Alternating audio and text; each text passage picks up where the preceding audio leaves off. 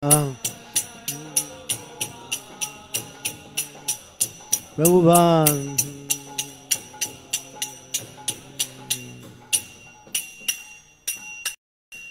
Srila Prabhupada ki.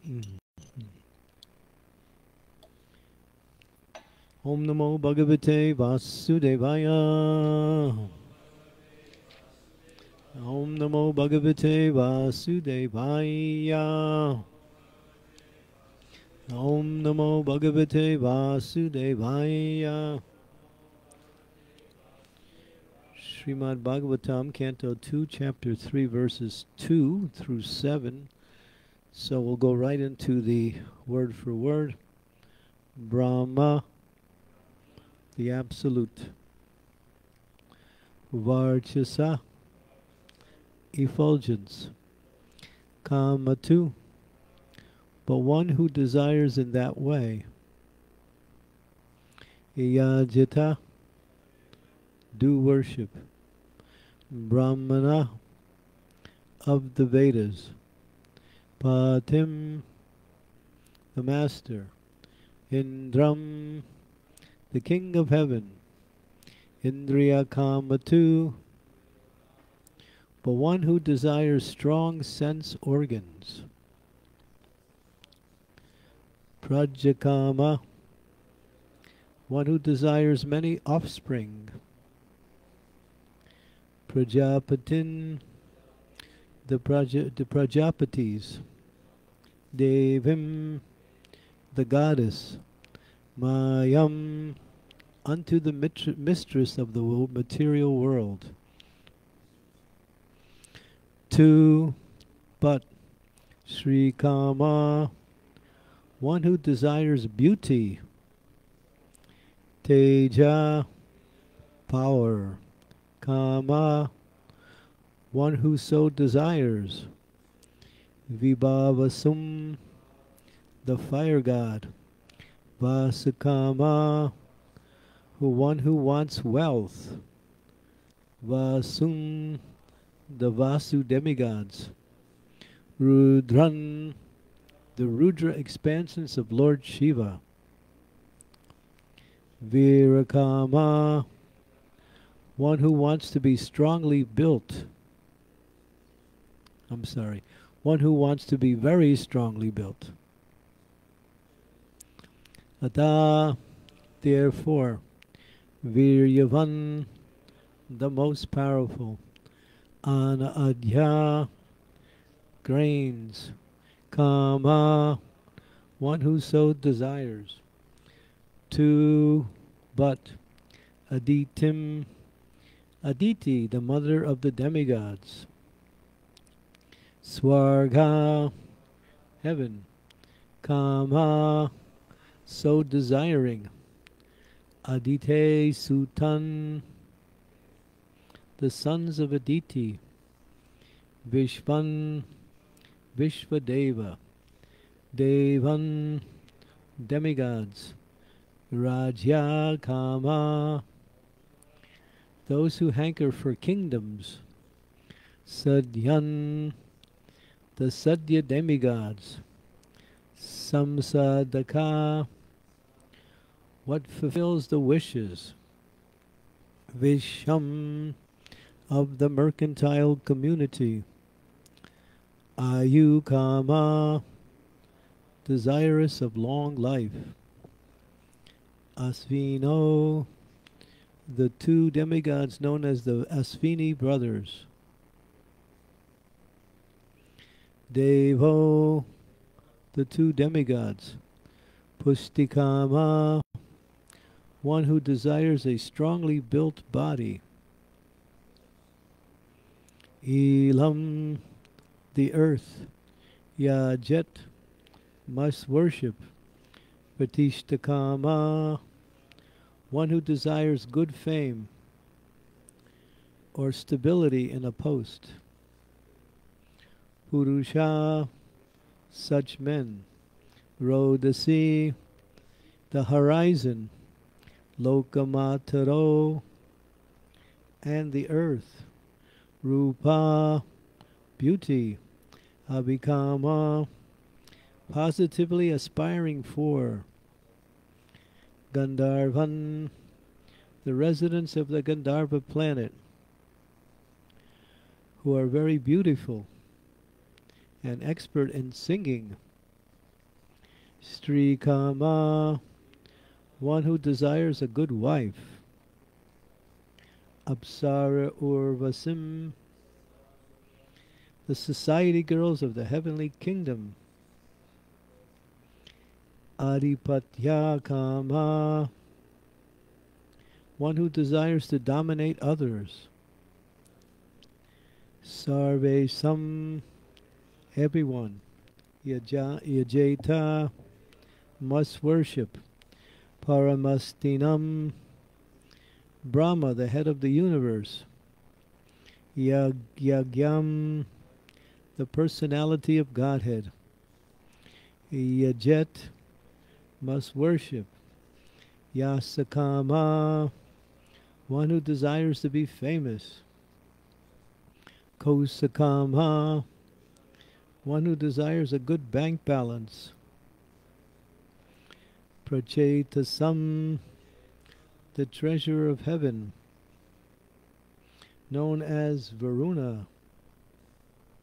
Vidyakama, two.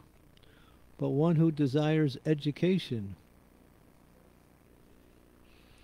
Girisam, the Lord of the Himalayas, Lord Shiva, Dampatya Artha, and for conjugal love, Umam Satim, the chaste wife of Lord Shiva known as Uma. They had made one mistake here. They says Vacheta Sum, the treasure of the heaven, is known as Varuna. It's not Varuna. It's uh, it's uh, what's his name? Kuvera. Kuvera, yeah. Okay. So we need a little light here. Need some more light. Throw some light on here. Any light. Just give me a light. Let there be light. Okay, translation. Very long translation, please listen up. One who desires to be absorbed in the impersonal Brahma Jyoti effulgence should worship the master of the Vedas, Lord Brahma, or Brihaspati, the learned priest. One who desires powerful sex should worship the heavenly king Indra. And one who desires good progeny should worship the great progenitors called the Prajapatis. One who desires good fame Fortune should worship Durga Devi, the superintendent of the material world. One desired to be very powerful should worship fire, and one who aspires only after money should worship the Vasus. One should worship the Rudra incarnations of Shiva if he wants to be a great hero. One who, one who wants a large, large stock of grains should worship Aditi. One who desires to attain the heavenly planet should worship the sons of Aditi. One who desires a worldly kingdom should worship Vishvadeva. And one who wants to be popular with the general mass of population should worship the Sadhya demigods. One who desires a long span of life should worship the demigods known as the Asvini Kumaras. And a person desiring a strongly built body should also should worship the earth. One who desires stability in his post should worship the horizon and the earth combined. One who desires to be beautiful should worship the beautiful residents of the Gandharva planet. And one who desires a good wife should worship the Apsaras and the Urvasi society girls of the heavenly kingdom. One who desires domination over others should worship Lord Brahma, the head of the universe. One should desire tangible fame. One who desires tangible pain should worship the personality of Godhead and one who desires a good bank balance should worship the demigod Kuvera. If one desires to be greatly learned, he should worship Lord Shiva. And if one desires to be a good marital relation, he should worship the chaste goddess Uma, the wife of Lord Shiva. End of translation. Hmm. So, these are different uh, personalities who can provide material benefits according to the prescribed worship that is uh, what we say uh, offered to them, then Prabhupada's purport will clear everything up. There are different modes of worship for different persons desiring success in, per in particular subjects. The conditioned soul living within the purview of the material world cannot be expert in every type of material enjoyable asset. But one can have considerable influence over a particular matter by worshipping a particular demigod as mentioned above. Ravana was made a very powerful man by worshipping Lord Shiva, and he used to offer sever head, severed heads to please Lord Shiva. He became so powerful by the grace of Lord Shiva that all the demigods were afraid of him, until he at last challenged the personality of Godhead, Sri Ramchandra, and was ruined himself. In other words, all such persons who aspire after gaining some of the material objects of enjoyment or the gross material persons are on the whole less intelligent as confirmed in the Bhagavad Gita 720. It is said that those who are bereft of all good sense and whose intelligence is withdrawn by the diluting energy of Maya aspire to achieve all sorts of material enjoyment in life by pleasing various demigods or by advancing in material civilization under the heading of scientific progress. The real problem of life in material world is to solve the question of birth, death, old age, and disease. No one wants to change his birthright. No one wants to meet death. No one wants to be old or invalid, and no one wants diseases. But these problems are solved neither by the grace of any demigod nor by the so called advancement of material science. In the Bhagavad Gita, as well as in the Srimad Bhagavatam, less intelligent persons have been described as devoid of all good sense. Sukadev Goswami said that out of the 8,400,000 species of living entity, the human form of life is rare and valuable. And out of those rare human beings, there are who those who are conscious of the material problems are rarer still.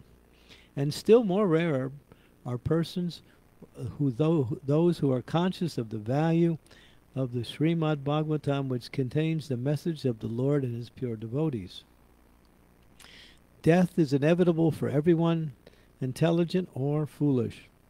Maharaj Parikshit has been addressed by the Goswami as a Manasvi, or the man of highly developed mind, because at the time of death he left the material enjoyment and completely surrendered unto the lotus feet of the Lord by hearing his messages from the right person, Sukadev Goswami.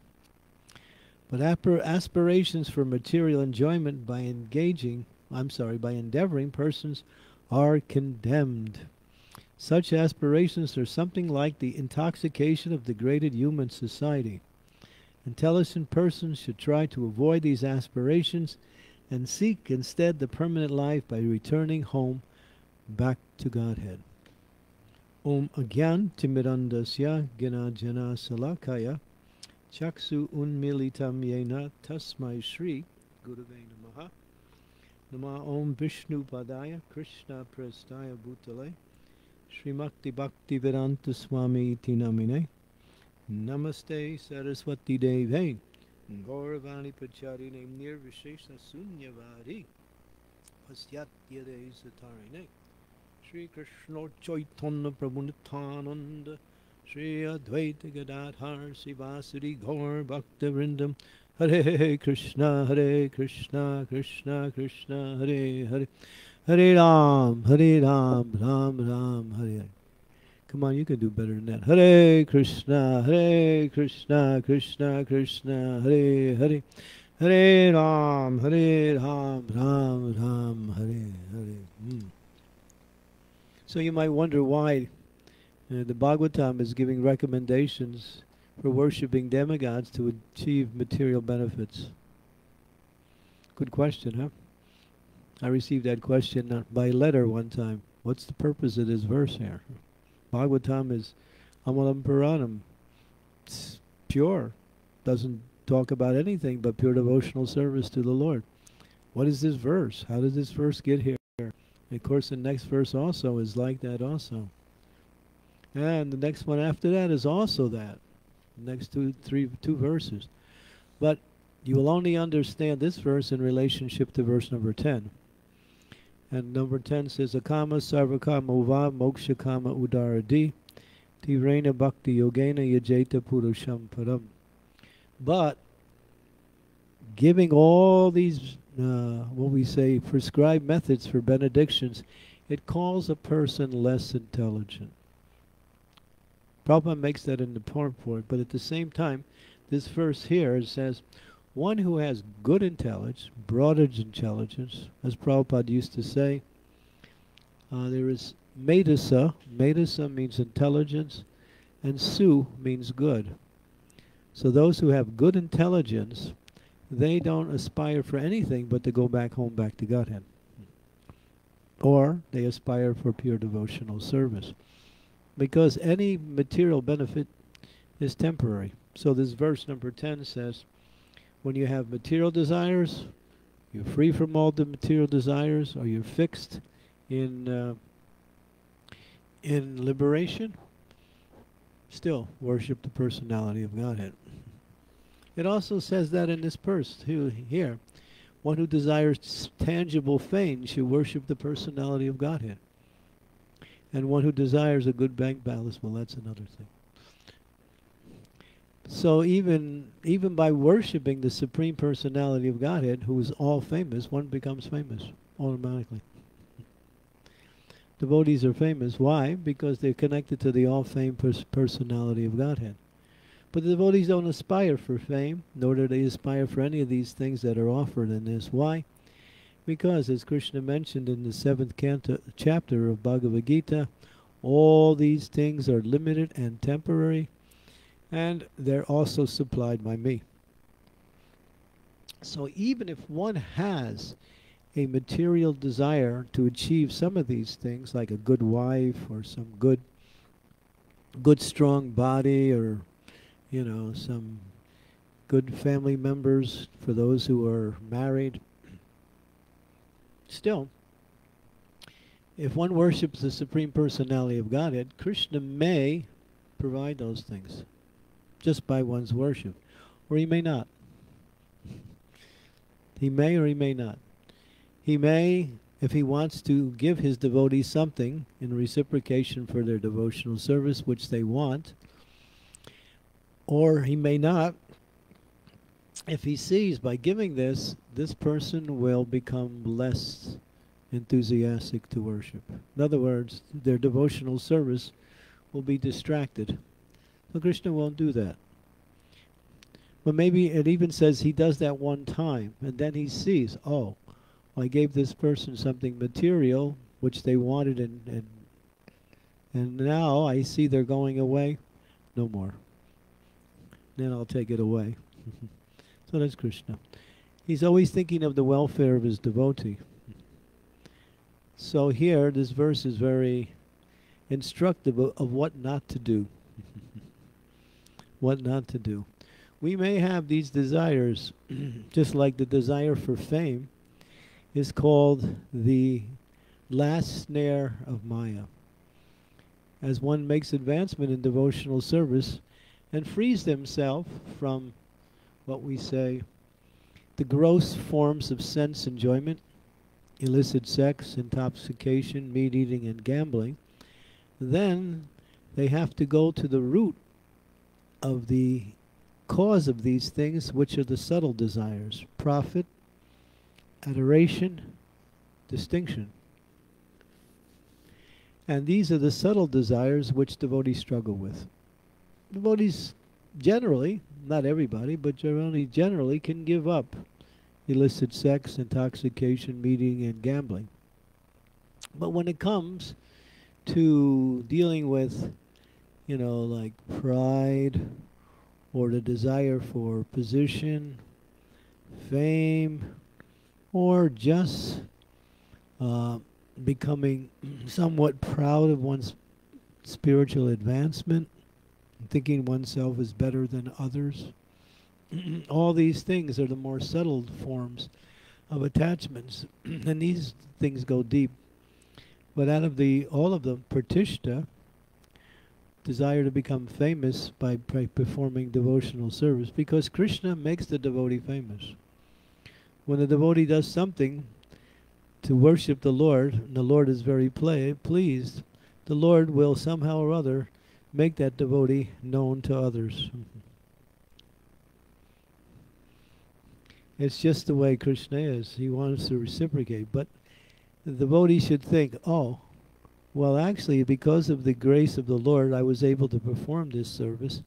Therefore, why should I take any credit for it? The credit goes to my spiritual master. The credit goes to the Lord. The credit goes to the assembly of the Vaishnavas. So the devotee thinks in that way, and that way they don't become what we say contaminated. As soon as we take credit for anything we do, there is a certain quality of material attachment that starts to either increase or develop. So one devotee likes to do nice service for the Lord, and the Lord likes to reciprocate. But the devotee should never think, because of me, it has it's become what we say successful. Krishna has given me the opportunity. Devotional service is both a birthright and a privilege. Why? It's a birthright. Why? Because we have the opportunity to fulfill the actual purpose of life. Vatapso Brahma. What is the goal of life? The goal of life is to realize our relationship with God and to act in that relationship and to go back home, back to Godhead. That's the goal of life. Any other goal in life is either not needed or supportive of that goal, depending on what it is. Just like you might need good health to do your own service, so you might work on your health. So you make health a goal. But that goal is secondary because we want good health so we can serve nicely. Health doesn't become the main thing. I'm healthy, therefore, because I'm healthy, everything is okay. It doesn't matter what I do. No. The point is that, or what if I need some uh, some energy so I can serve the Lord nicely by distributing the spiritual master's books, which he has asked me to do, then I should uh, make sure that I have the required amount of sleep and proper uh, prashadam, everything, so I can do my service nicely and distribute many books and become energetic.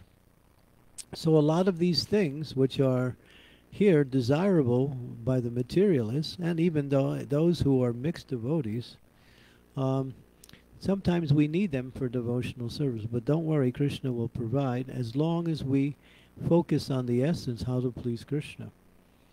Krishna automatically takes care of his devotees. Sometimes the devotee thinks, you know, I really wanted this and I really need it. Why isn't it coming? Krishna, you know, it's for your service. But actually, what Krishna is doing is that sometimes he makes the devotee wait just to see whether that devotee is actually wants it for his service or wants it for his own personal gain. When Krishna knows that you want it for your, or sees, oh, he wants it for my service, then no problem. But sometimes the devotee um, has this mixed thing, something for me, something for Krishna. I mean, this is normal in the beginning of devotional service. Something for me, something for Krishna. But then we understand that everything that I actually need or want or, or desire in life can be found simply by worshiping Krishna. And two things happen when you have that mentality. One is you get what you want or you lose the desire to get what you want. In other words, Visayan vinivartante nihrasya dehinam raso varjam raso param juswan nivartante. One gets a higher taste. One finds something better. And then by finding something better, what is that? That happiness that we experience in serving the Lord.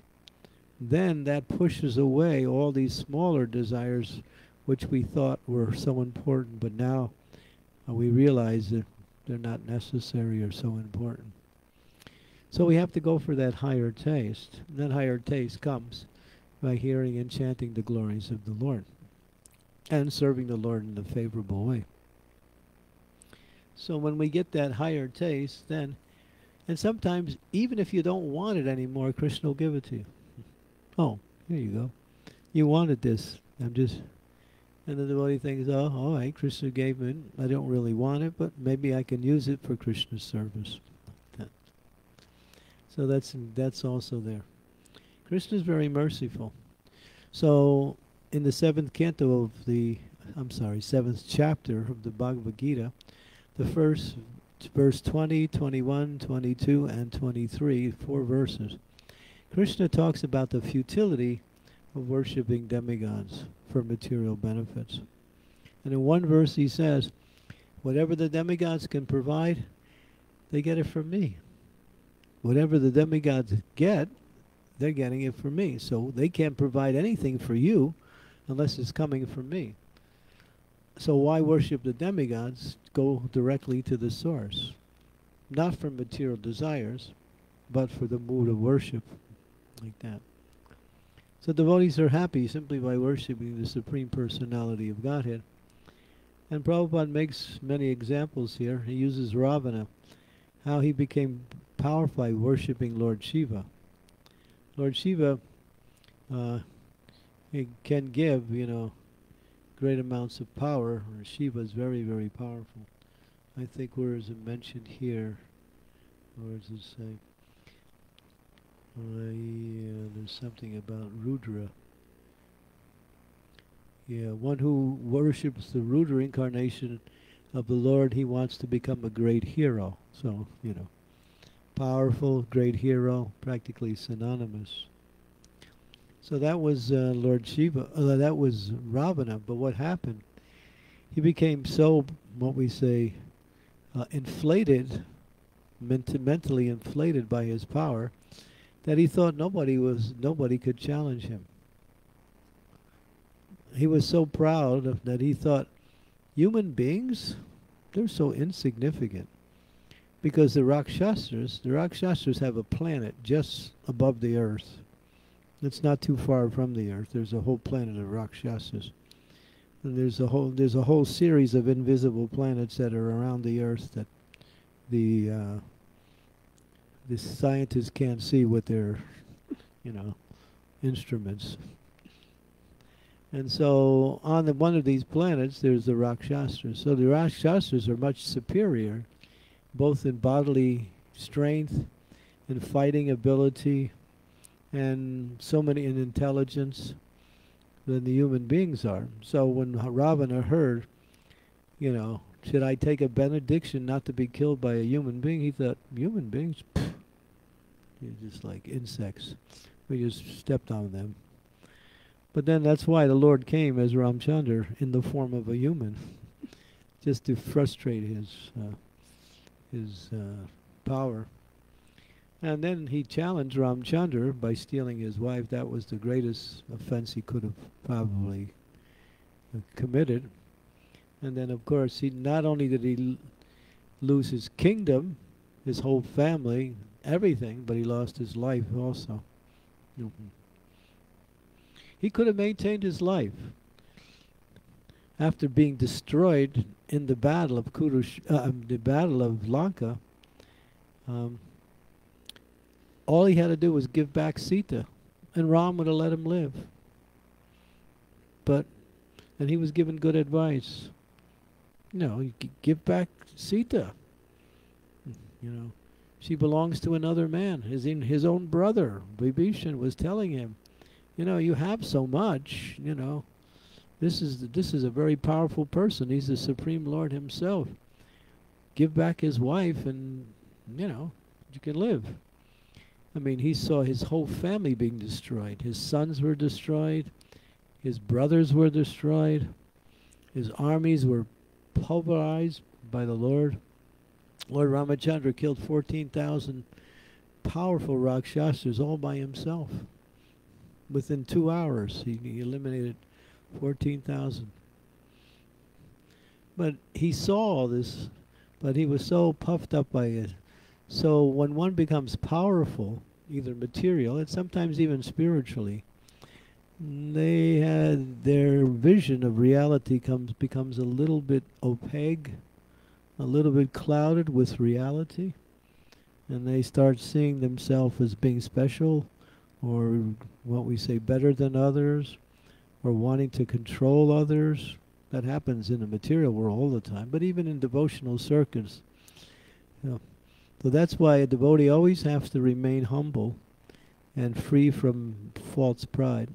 And in that way one can actually chant the holy names of the Lord nicely. So, yeah, this pride, and pride goes before the fall.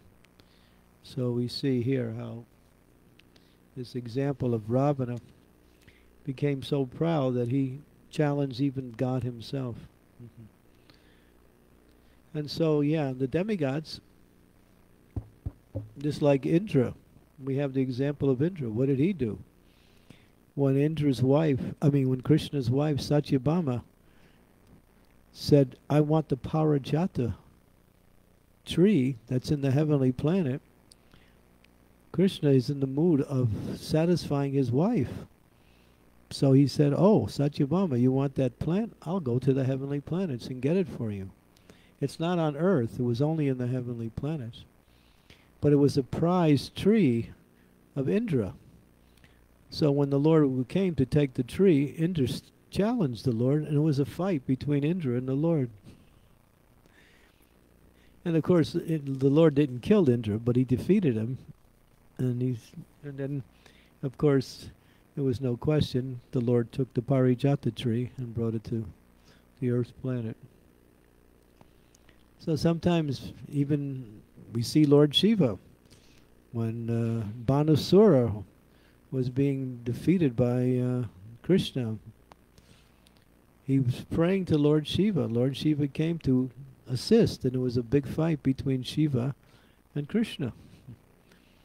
And that's a nice story. How Shiva let go of this one uh, weapon called the Shiva Jvara, which creates, creates intense heat. And he fired it at Krishna, and Krishna counteracted with the Narayan Jvara, which brings about intense cold. And so it counteracted the, the intense heat. And Prabhupada said, somehow one can tolerate great amounts of heat, but one cannot tolerate extreme cold. now this is interesting little point in the pastimes there. And finally, Krishna defeated Shiva, and then Krishna said after him, Why are you fighting with me? and Shiva came to his senses, you know. yeah, well, I guess I didn't know what I was doing.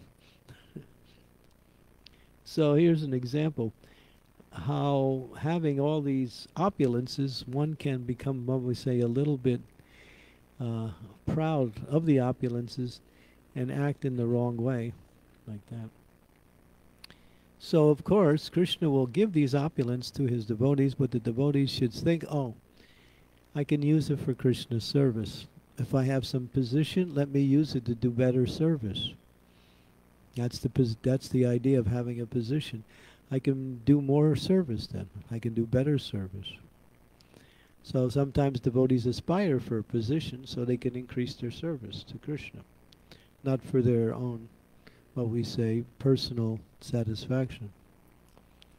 Or, you know, uh, let me distribute a lot of books. Not that I want to become the number one book distributor, but I want to get as many books out to the conditioned souls as possible which will please Srila Prabhupada. So a devotee may also see that Krishna is giving him or her some great responsibility and facility. So then we think, oh, this is an opportunity to increase our service, to do better service, to more, to do more service, like that.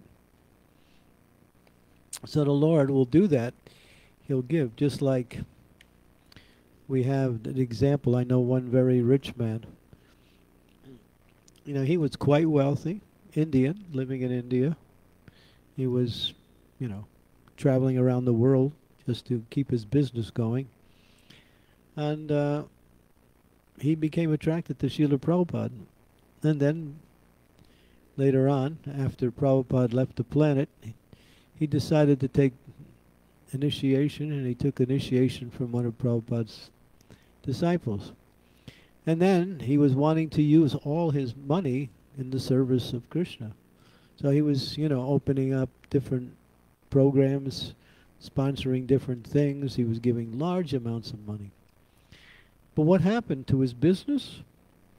It increased, didn't decrease. His business, he told he told me personally, or I heard him speak personally. My business increased it increased eight eight eight hundred percent. I was struggling to keep my business going, but as soon as I became a devotee and started giving money and started serving like that, Krishna just gave me more and more facilities and my business just expanded more and more and more.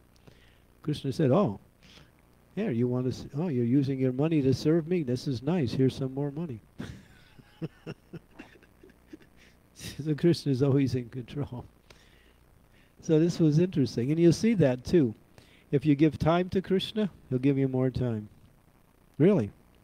If you give your energy to Krishna, he'll give you more energy. But you you know, within a certain range, don't become careless. If you use your intelligence for Krishna, he'll give you more intelligence. If you use your money for Krishna, he'll give you more. In other words, whatever you're using, he's thinking, oh, this devotee is so nice. He's using these things in my service. Here, here's some more. Continue. this is Krishna. This is Krishna. Krishna is always wants to receive. That's why Krishna consciousness is unlimited. There's no limit how much advancement you make. There's no limit how powerful you can become by using whatever Krishna gives you in Krishna's service. Okay, so we'll stop here. Any questions or comments?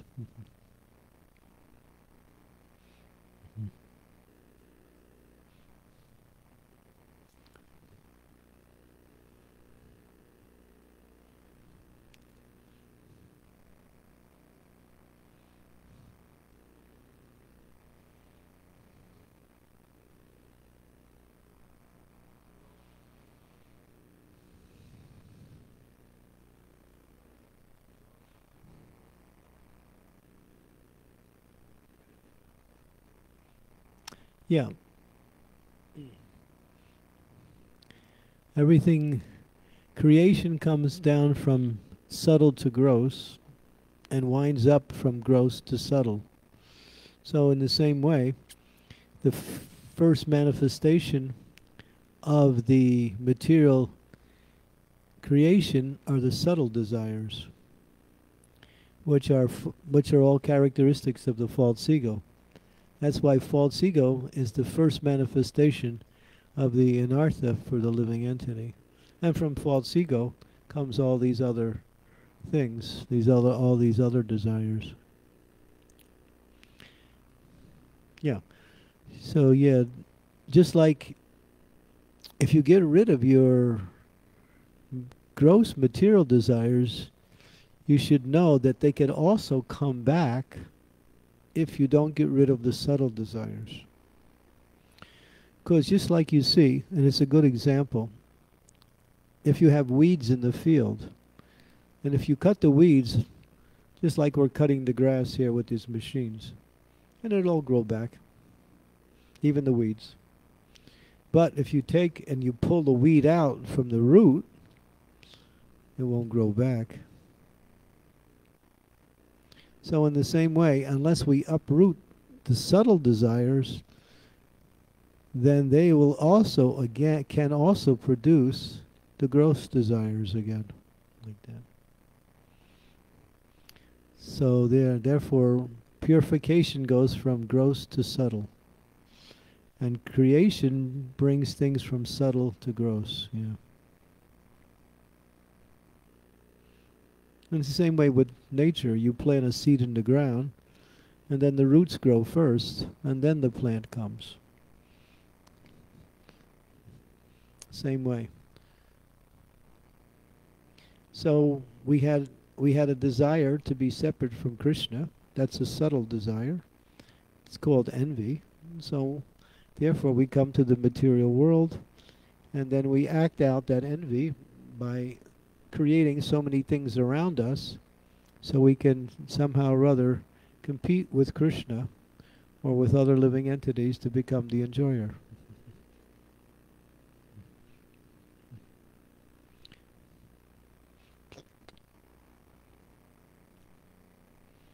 Yeah. So yeah, the subtle group one, the subtle ones are the ones that are first. That's why it talks about creation. I think it's in the second, maybe in this canto, how Brahma created. He created five five principles of ignorance, which are part of the subtle desire of false ego. What is that? The conception that I am this body. There's five principles of ignorance. I forgot what they are. Does anybody remember those any of those five?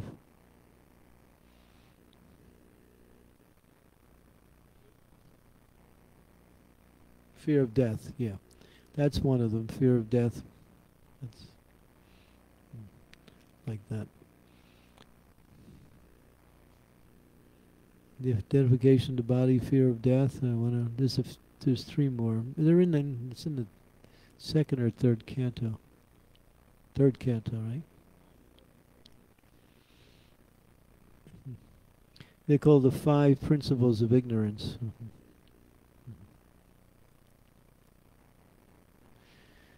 So yeah, any other questions related? Yes.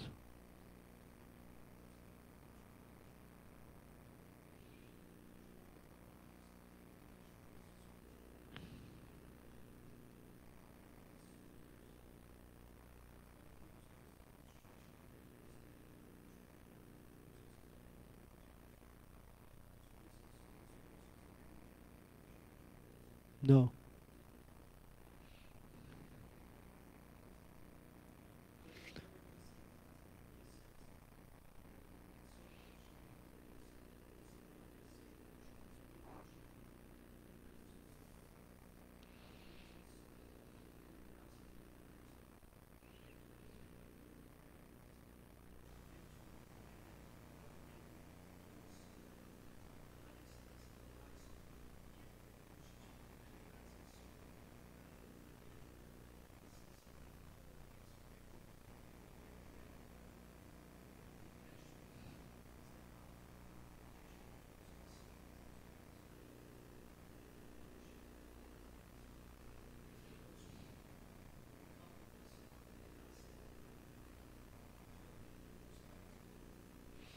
Demigod worshippers, for people, Krishna says, demigod worshippers, he calls it hit, hitragyan, ritakran. That means those who are less intelligent, they worship the demigods.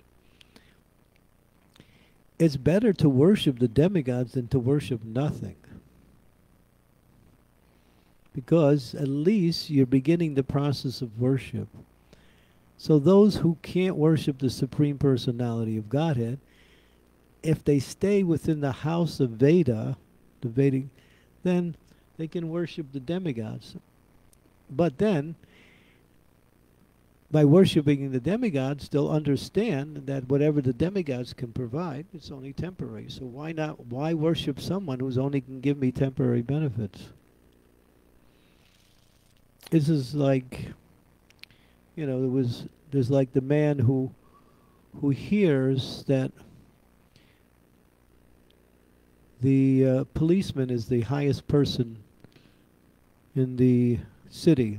So he goes and he, Mr. Policeman, oh, you're the most respectable, you're the most worshipful. So he starts worshiping. The policeman says, no, I'm not. I'm not the highest. It's the chief of police. He's higher. So then he goes to the chief of police and starts worshiping him.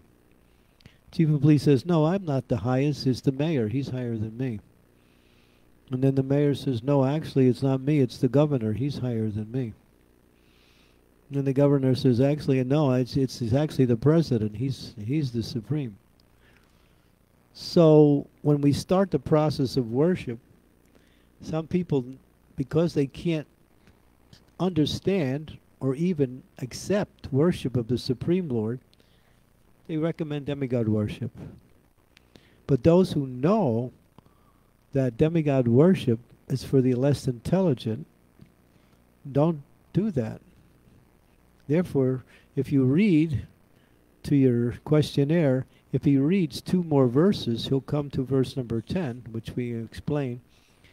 But one who has actual knowledge, and he, even if he has material desires, or without any material desires, or desires liberation, any of these three desires, still should worship the Supreme Lord, personality of God. So this verse is leading to verse number 10. Verse eight, number 8 and 9 are similar to the, these verses, which again recommends more forms of worship. But then, unless you hear from the acharyas what this verse actually means in relationship to the principle of worship, then you will get you will think that this that the, the Bhagavatam has recommended this as the goal. It's not. It's not. That's why Prabhupada makes that clear in the purport. So Krishna says, those who worship the demigods, Rita Gyan. Rita means stunted, damaged, injured, and Gyan means intelligence. When someone's intelligence is injured, then they worship the demigods.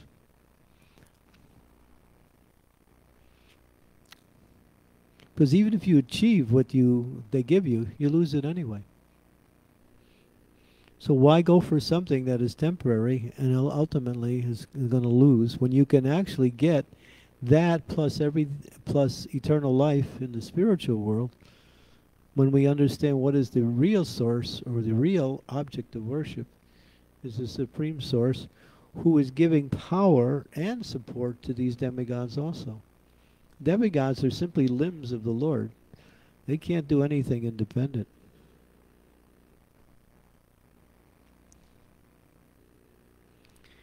So this verse is just leading to higher understandings.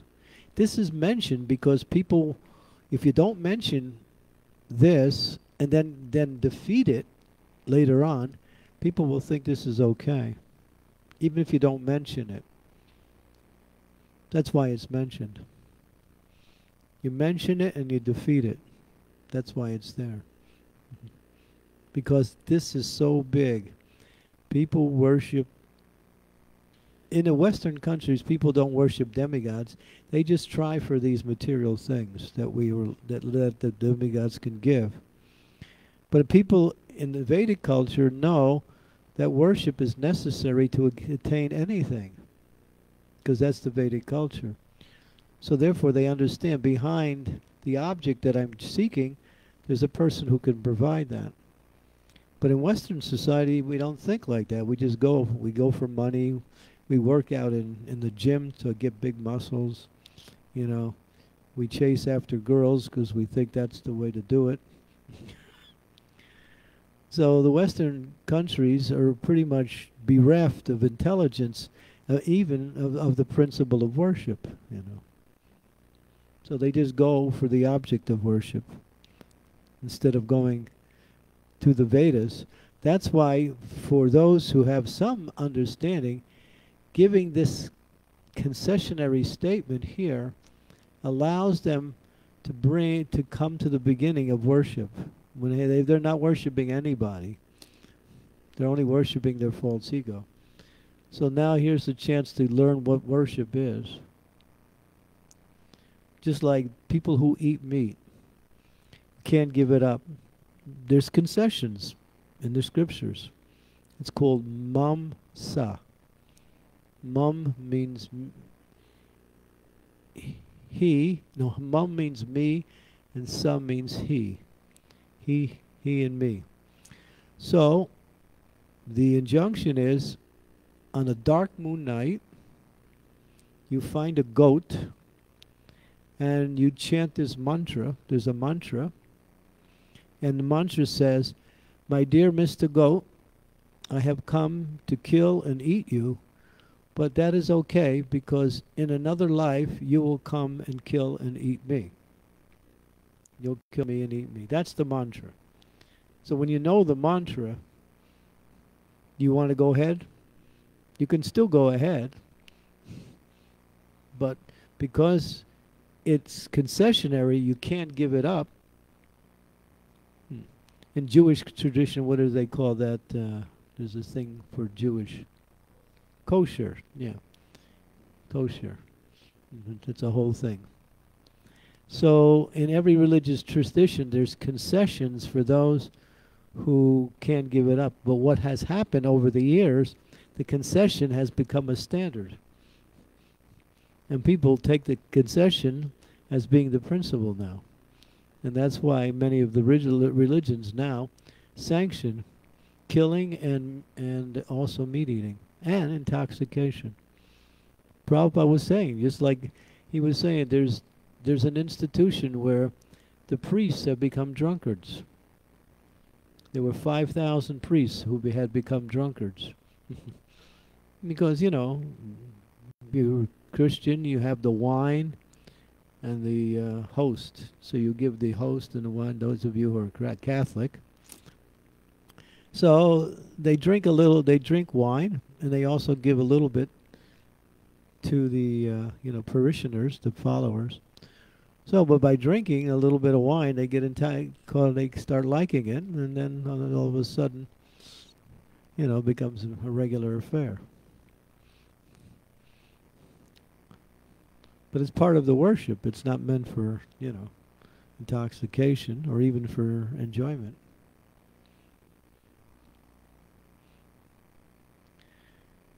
So, same with demigods. So, we come to the point of understanding that if we worship Krishna, whatever the demigods can supply will automatically come. And if it doesn't come, it doesn't matter because you have something better anyway. You have Krishna.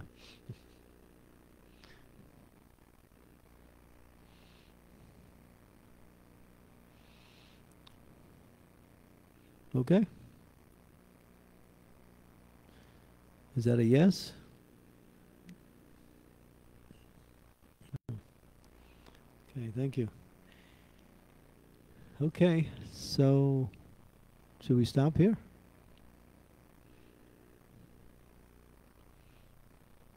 Mataji, you have a question?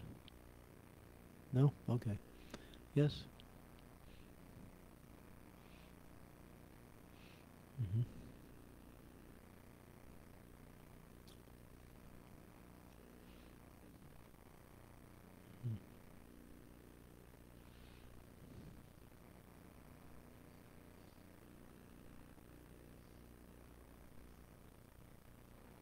Mm-hmm. That's the that's the word. Yeah. Yeah. Well, mm, kama, krodha, lobha, mohan, mada, and matsarya, the six enemies. So mada translates into madness. That's the word. There's mada, unmada, and pramada. There's three three types of madas. Mada, unmada, and Pramada. Mada means mad. Uh, unmada means crazy, and pramada means completely insane. Different degrees of madness. Prabhupada said when somebody becomes completely mad, they, they take off all their clothes and they start running in the streets and screaming. I saw, I didn't see it, but I heard one devotee did that. he was he went completely mad, just running around naked, yelling. So yeah. So um, pride is a form of madness because it's completely contrary to our position. What is our position? Trinadapi sunichena tayoriva sahisnuna. That the living entity is just a tiny insignificant spark of the you know the entire existence. We are just so small. Even in size we're one ten thousand the tip of a hair. If you actually they've the shastras give a measurement for the soul. It's it's so small it's microscopic you can't even see it. You can't even see it with microscopes. So to think that one is important or great or, you know, is a form of madness. Krishna is great. Is there any kind of pride that is spiritual? There is spiritual pride. I'm proud of my spiritual master. I'm proud of the Supreme Lord who is so merciful. So that pride is directed outward towards those who are merciful towards us.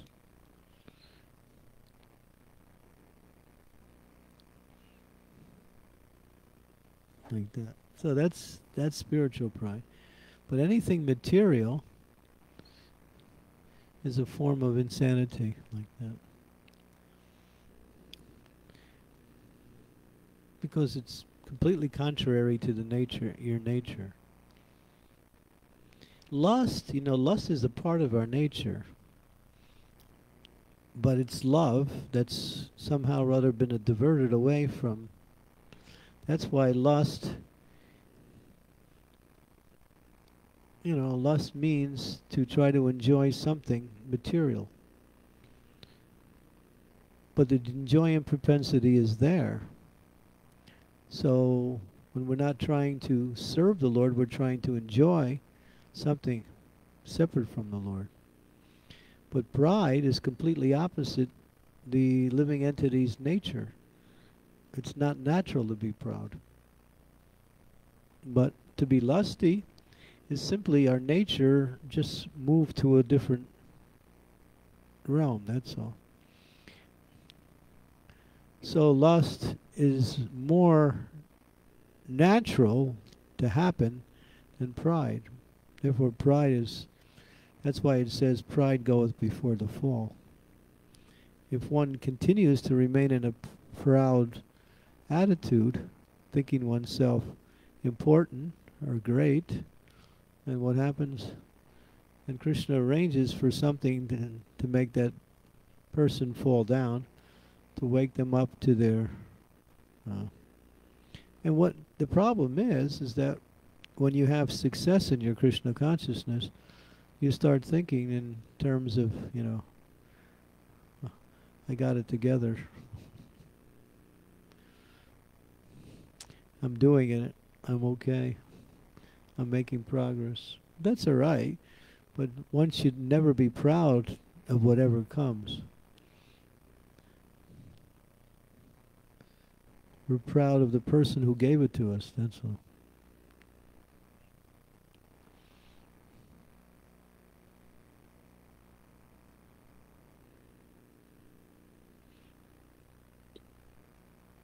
Just like it says, if Krishna wants, he can make he can make you forget your own name and you can't even remember it. he can do that. What's your name? Uh, Gary. No, no. George. No. Gabriel. Yeah, that's it.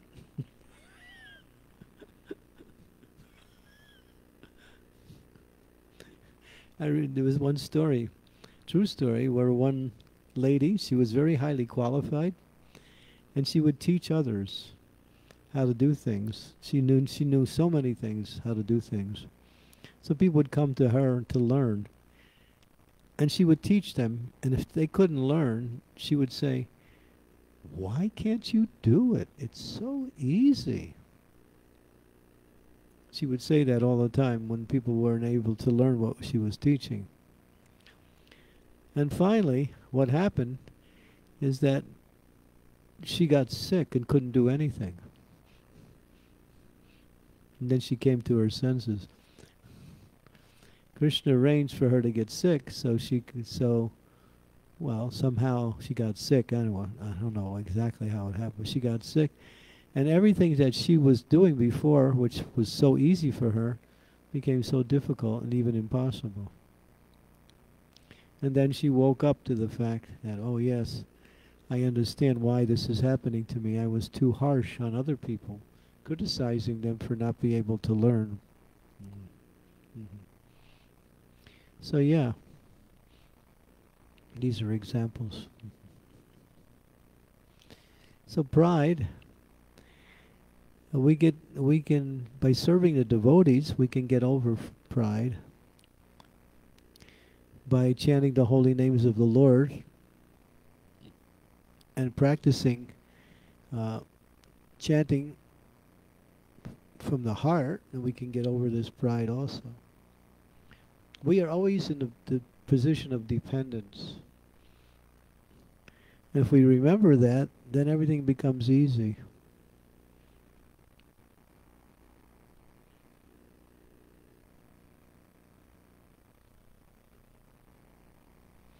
I'll give you an I'll give you a nice example. This is I saw this happening. We had his preaching center in uh, in uh, a place called Cincinnati, Ohio.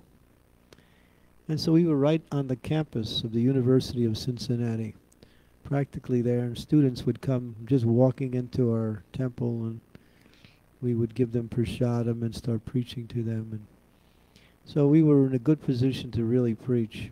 So one professor came, very intelligent man, super intelligent.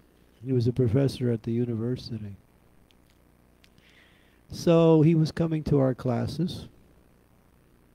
And Radhanath Swami was giving classes. I was also there. So, um, so Swami, he would ask Radhanath Swami questions, and Maharaj would give him the answers.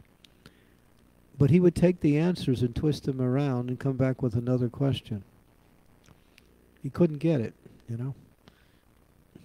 His mind was so, what we say, theoretical and so analytical that he'd analyze everything.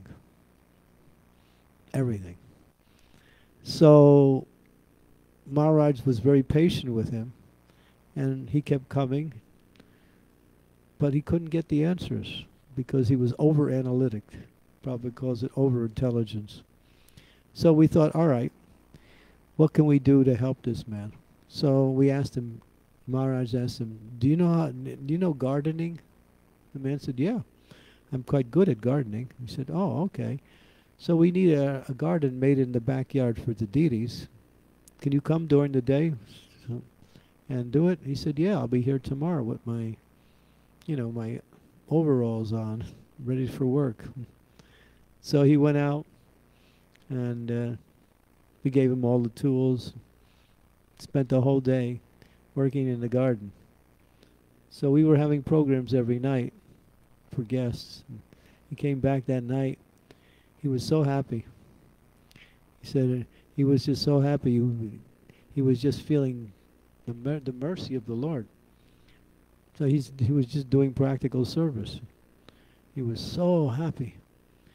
And then he said, Oh, wow, that was wonderful. Yeah. Now he started to understand things better. So we said, well, he said, we said, is there more gardening to do? He said, yeah, I'm not finished. I'll be back tomorrow. So he came the next day. he was out there. He worked all night, day. Come back in at night. He was completely miserable. complete, complete opposite. We said, What happened? He said, I don't know. I did everything I did the day before, and I did it exactly the same way I did it the day before, but I don't feel that happiness. So he's, he was analyzing Krishna's mercy. Krishna was merciful because the day, first day he was just working. So the second day he was thinking, well, I did it like this, and I became happy, so let me do it like this again and I'll become happy again. that was his mindset. And Krishna said, I don't work like that. you know? I don't work like that. So yeah, and we had to finally explain to him, you know, that's not how devotional service works. You try to serve your best, and if Krishna is pleased, then you'll feel the you'll feel His mercy. so he finally he actually came to Krishna Consciousness and started to worship and he never took initiation but he actually you know started making nice advancement for a while. So it was good. So yeah overly analytic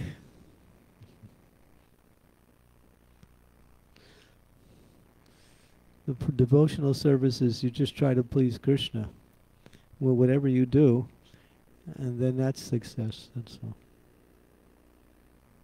do it the best you can, but try to please Krishna. Mm-hmm. Okay, so we'll stop there. Thank you very much. Srimad Bhagavatam ki jai. Srila Prabhupada ki jai.